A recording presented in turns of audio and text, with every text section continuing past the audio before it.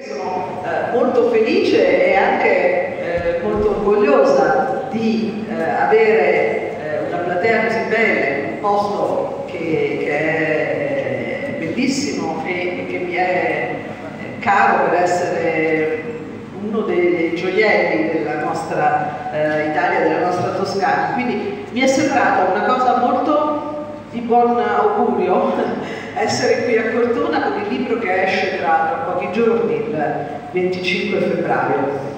E il sindaco diceva, mi interessa capire come si può eh, essere delle donne molto, molto, impegnate nel lavoro, avere delle responsabilità e Dio solo sa un sindaco che responsabilità ha, è un lavoro che porta un sacco di grattacapi e di grane, lo sappiamo, e continuare ad avere una vita familiare, amicale, tutte insieme.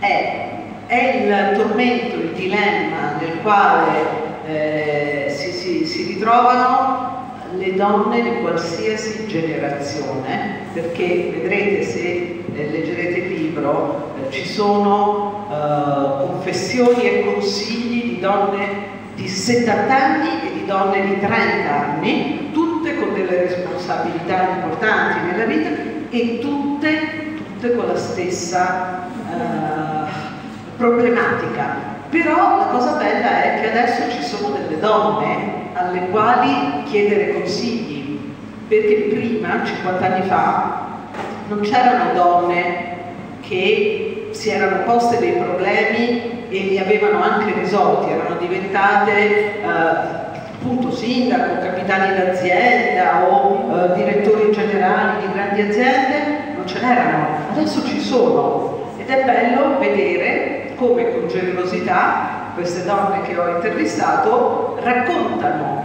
raccontano come si fa a superare al meglio tutte le problematiche che si presentano inevitabilmente a una donna che decida di fare tutte e due le cose, lavorare e occuparsi di tutto il resto della vita.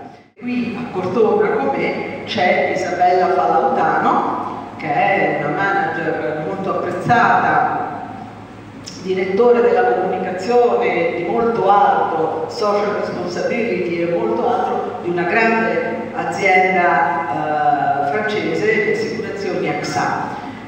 Eh, Ebbene, Isabella è stata mia compagna di corso eh, in un'esperienza bellissima, eh, voluta da un'associazione che si chiama Valore D, che mette insieme 150 grandi aziende italiane, le più grandi, eh, italiane e multinazionali, per promuovere la parità di genere nelle aziende. Eh, spesso e volentieri che identifichiamo come dominio, forza, stata forse concepita, presentata così, radicata nel nostro DNA in questo modo, però potere significa molte altre cose, come anche scrivono altre eh, testimonial del libro. Allora, raccontaci perché proprio parlare del potere delle donne, che è una parola che urtica così tanto. Allora, intanto io vedo potere nel senso elettrico, l'energia però l'energia delle donne non era proprio il titolo, Feltrinelli si è battuta fino all'ultimo perché usassimo proprio questo titolo, il potere delle donne, inteso come la forza, l'energia, la voglia di trasmettere le cose. Ma di che avete paura? Perché avete paura ancora ad usare questa parola, potere? Perché vi fa, vi fa tanta allergia? In realtà non è che la parola potere significa sempre prevaricazione contro il più debole. La parola potere significa avere la possibilità di fare le cose. E se c'è un, un fatto proprio non discutibile è che le donne quando si mettono in condizioni di fare, poi i risultati li portano. Ciascuna di queste ha risposto con sincerità alle mie domande e, e tante cose che mi hanno detto, per esempio, di come sono riuscite a, a fare carriera o a non farsi superare per sbaglio o, o neanche tanto per sbaglio da colleghi che meritavano di meno, ecco tante cose Se io avessi avuto la possibilità di farmele dire da queste stesse persone 30 anni fa, eh, avrei fatto molti meno errori, molti meno errori. Perché questo è il punto. Avere oggi delle role model, delle donne in cui specchiarsi, eh, consente di sentirsi meno sole. Quando io avevo 30 anni, cara Isabella, non avevo nessuno a cui, nessuna donna potente, importante nell'azienda in cui lavoravo a cui chiedere un consiglio, come mi posso comportare con questo, cosa posso fare, non ce l'avevo.